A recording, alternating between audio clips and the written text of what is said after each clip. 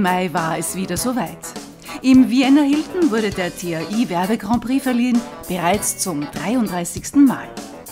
Beim Begrüßungscocktail war trotz bester Stimmung die Spannung zu spüren. Wer würde zu den glücklichen Gewinnern des härtesten und fairsten Wettbewerbs seiner Art zählen?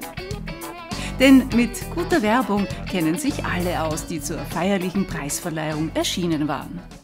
Ja, ich denke, gute Werbung ist tatsächlich, dass man äh, zum einen eine sehr, sehr gute Idee hat und dann sie auch sehr, sehr gut umsetzt. Gute Werbung muss sehr innovativ, kreativ sein, nicht zu plump und wie gesagt mit einem Augenzwinkern.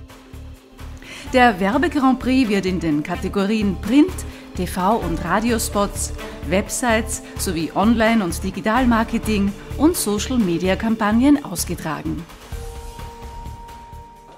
Wie wichtig ist ein Event wie dieser für die Branche? Ganz, ganz wichtig. Also es ist, war gut, dass das äh, hier mittlerweile schon so lange installiert ist, dieser Werbe Grand Prix. Und das fördert im Prinzip auch die Kreativität. Man merkt, dass von Jahr zu Jahr die Themen, die hier behandelt werden und auch die einzelnen Kataloge, Kampagnen sehr, sehr originell sind. Man hat hier immer wieder den Eindruck, jeder ist bemüht, noch besser zu performen und daher sehe ich das als sehr, sehr wichtig an. Gute Werbung äh, für unseren Markt, spezifisch für Indien, äh, ist Film. Filme, äh, Feature-Filmproduktionen, äh, die helfen uns, ähm, einen, eine Nachfrage und einen Bedarf äh, bei den Gästen zu schaffen und Reisetrends zu definieren. Wie wichtig ist ein Event wie dieser für die Branche? Extrem wichtig. Also ich äh, bin in der Außenwirtschaft Austria, der Wirtschaftskammer Österreich tätig und bin dafür die gesamte Kreativwirtschaft zuständig und unter anderem für die Filmbranche.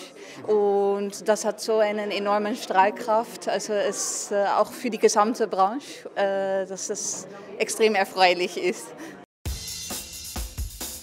Extrem erfreulich auch viele innovative Ideen, die neue Wege beschreiten.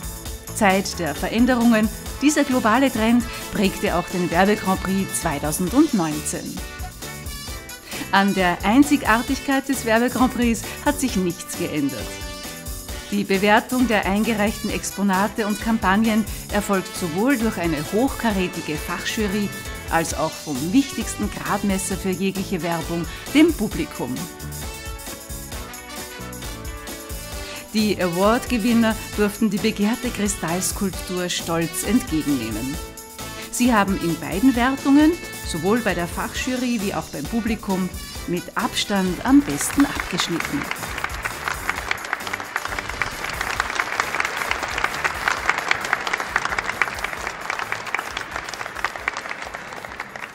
Ich würde mich jetzt gar nicht festlegen wollen auf eine Kategorie oder ist jetzt klassische Werbung oder online wichtiger, sondern es macht den Mediamix aus. Für manche Themen ist es klassisch, wo wir immer noch auch im Printbereich unterwegs sind, Hörfunk, aber dann natürlich auch mit Influencer-Kampagnen gestalten, online, digital, also alles, was die Medienwelt hergibt. Dieses Bewegtbild ähm, kommt jetzt enorm und dadurch kann man halt die Emotionen noch stärker rüberbringen. Was vorher mit Bildmaterial geschaffen wurde, wird jetzt vor allem sehr stark mit dem Bewegtbild geschaffen und da sind wir jetzt auch stark dabei und ich glaube, in die Richtung kann da wirklich viel passieren, generell in der Marketing-Szene.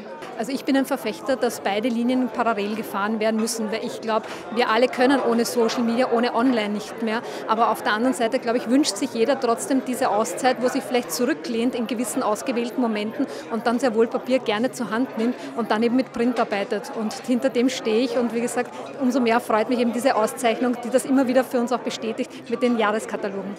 Naja, gute Werbung, glaube ich, muss zwei Dinge erfüllen. Sie muss Aufmerksamkeit erregen, aber in positiver Art und Weise.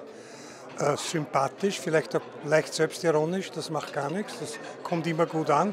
Und sie muss aber natürlich auch gut verkaufen.